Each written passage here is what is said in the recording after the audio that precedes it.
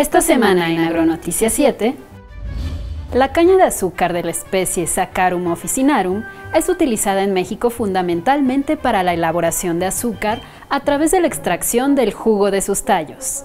El proceso de producción del endulzante involucra primeramente la cosecha de la caña. Te contaremos más sobre esta industria. Una Navidad no puede estar completa sin un ponche, o al menos no se siente como Navidad.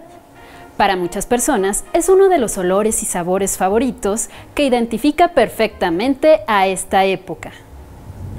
Es una tela fina que no supera los 2 milímetros de grosor, tiene perforaciones y se amolda al cuerpo de cualquier persona.